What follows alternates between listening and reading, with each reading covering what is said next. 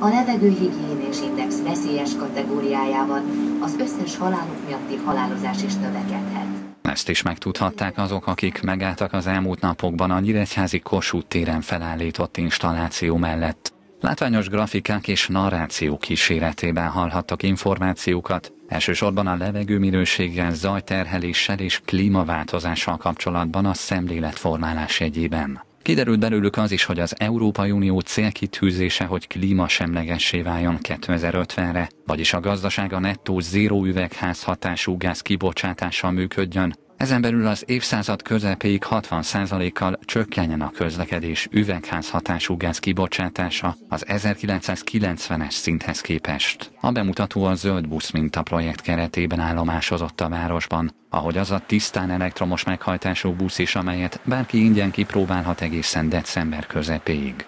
Múlt hét vége óta rója a megyeszékhely útjait különböző vonalakon menetrendszerű járatként azt tervezzük, hogy folytassuk azt a programot, amit elkezdtünk két évvel ezelőtt 41 gázüzemű busz beállítással, ami sokkal-sokkal környezetbarát és sokkal kevésbé környezetszennyező, mint a régi dízeles buszok, és szeretnénk a jövőben a gázüzemű buszok mellett egy elektromos buszparkot is Nyíregyházán kialakítani, hogy még jobb legyen a város levegője, maga klíma és természetvédelmi akcióterv részét képező program is ezt célozza, elektromos buszok jövőbeni beszerzésén és üzembeállításán keresztül. A cél, hogy 2022-től kizárólag ilyen járművek kerüljenek forgalomba a 25 ezer fő feletti lakosságú városokban. Ezt megkönnyítendő 36 milliárd forinttal segítik a környezetbarát buszok beszerzését.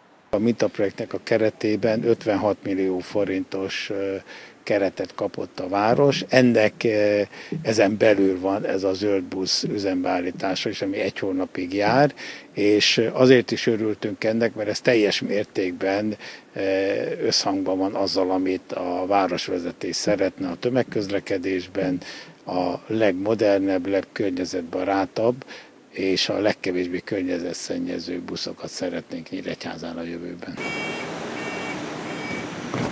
Az ajtók is máshogy csukódnak rajta, mint a megszokott járműveken. Modern, akadálymentesített belső, kényelmes ülések jellemzik az eBuszkó 2.2 típusú elektromos buszt. Fedezetén az utasok ingyen használhatják a Wi-Fi-t, a kellemes hőmérsékletről pedig légkondicionálás gondoskodik. A további buszbeszerzések ösztönzésére november második felében válik elérhetővé a Zöld Busz program 4,2 milliárd forint keretösszegű pályázata az önkormányzatok és a közszolgáltatók számára.